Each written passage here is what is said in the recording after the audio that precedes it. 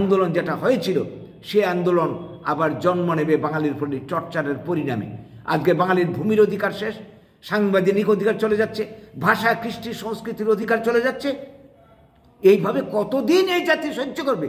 বাঙালি সহনশীল জাতি বলে, যা তা চলবে চিরকাল, এটা বাঙালি মেনে নেবে না। একটা জাগরণ সহসাই আসছে। এই বার্তাটুকু বাঙালিকে যারা শেষ করতে চায়, তাদেরকে দিয়ে রাখতে চাই। সাবধান করে দিতে চাই আমরা কিন্তু শেষ দেখে ছাড়ব। কাজে এই দিন যাতে না আসে তার জন্য সাবধান হয়ে যান সজাগ হয়ে যান এবং বাঙালির অধিকার প্রতিষ্ঠা যাতে হয় সেই দিকে সবাই নজর দিন। নমস্কার।